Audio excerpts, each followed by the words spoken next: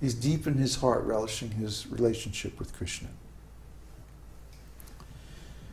Elevation to this stage of ecstasy can be possible in two ways. One way is by constant association with pure devotees. The other way is by the special mercy of Krishna or by the mercy of a pure devotee of Krishna. Elevation to the ecstatic stage of life is generally attained through association with pure devotees, while elevation to that stage by the special mercy of Krishna or his devotee is very rare. The purport is that one should execute devotional service rigidly in the association of devotees, so that there will be certainty in raising oneself to that ecstatic position. In special cases, of course, there is special favor from Krishna. And although we should always expect that, we should not sit idly and simply wait for Krishna's special mercy. The regular duties must be performed. It is just as when sometimes it is found that a person who has never attended school or college may be recognized as a great scholar, or an honorary degree from great university may be offered to him. But this does not mean that one should avoid school and expect to automatically receive an honorary degree. Similarly, one should devoutly execute the regulative principles of devotional service and at the same time hope for Krishna's favor or for his devotees' favor. Mm. So, uh, yeah, sometimes amazing, wonderful things happen. But we shouldn't expect to be the exception. We should, instead, we should expect to be the rule. And the rule is that one advances in devotional service very gradually over a long period of time by association with pure devotees. That's the normal process. And occasionally, the, there's an exceptional process where one gets special mercy, special blessing. Maybe he has to execute some special service or some extraordinary difficult task for Krishna. And so he gets uh, Krishna's mercy or he gets the mercy of a pure devotee to accomplish uh, this special task. we have little experience of that. An example of rising to the stage of ecstatic love by executing the regulative principles of devotional service is given in the life story of Narada, which is described to Vyasadeva in Srimad Bhagavatam. Narada tells there of his previous life and how he developed to the stage of ecstatic love. He was engaged in the service of great devotees and used to hear their talks and songs.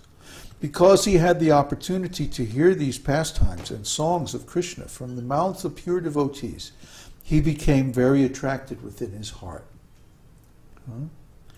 Because he had become so eager to hear these topics, he gradually developed within himself an ecstatic love for Krishna.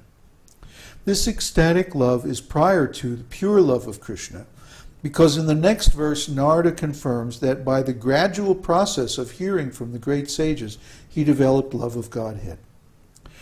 In that connection, Narada continues to say in the first canto, fifth chapter, verse 28 of the Bhagavatam First, I passed my days in the association of the great sages during the rainy autumn season. Every morning and evening I heard them while they were singing and chanting the Hare Krishna mantra, and thus my heart gradually became purified.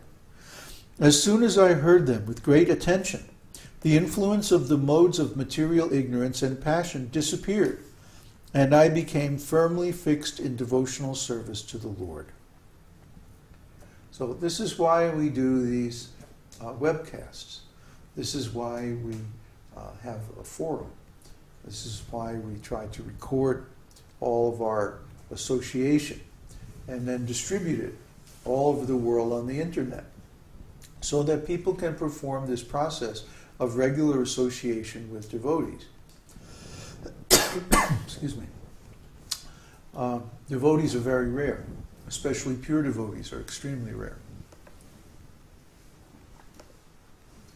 You can't find them everywhere. Sometimes you can't find them anywhere. after Srila Prabhupada's disappearance, I looked everywhere for some devotees who were in a similar mood to myself, uh, but more advanced, because I wanted to continue this process myself. This is the recommended uh, process. The one says here, we should always expect the, the mercy of Krishna or hope for the mercy of Krishna, but we shouldn't give up the regular regular process of advancement in devotional service. Uh, um, but I was placed in a situation where I didn't have access to that process anymore.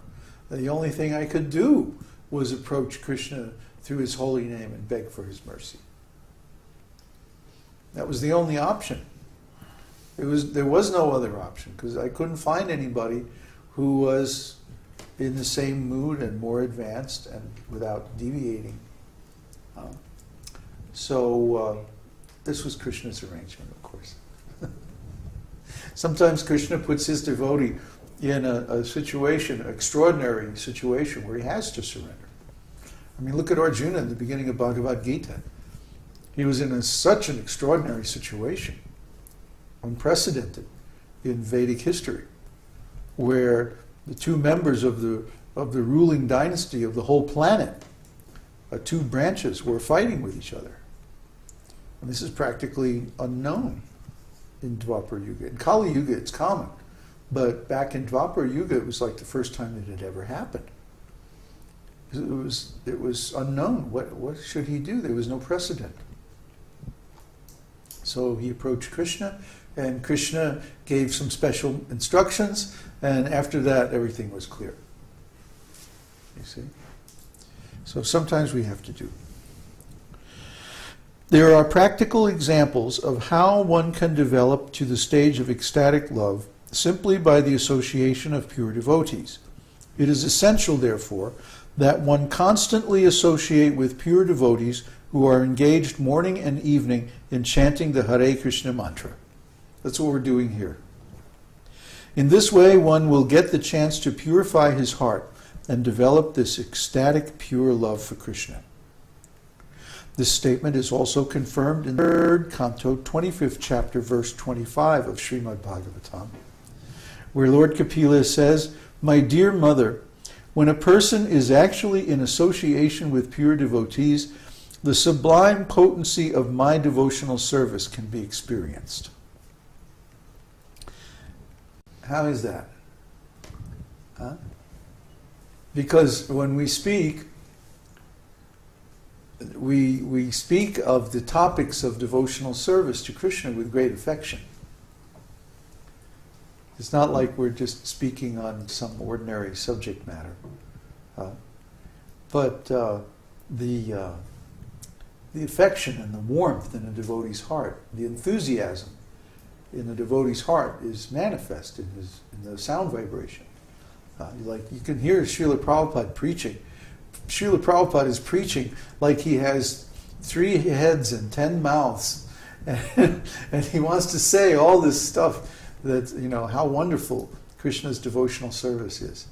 So it's very beneficial to listen to Srila Prabhupada's preaching because of this.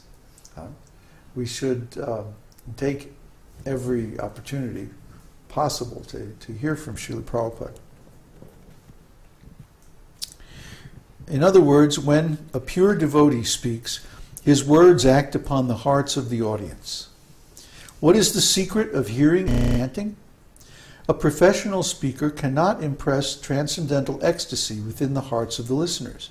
However, when a realized soul who is engaged in the service of the Lord is speaking, he has the potency to inject spiritual life within the audience.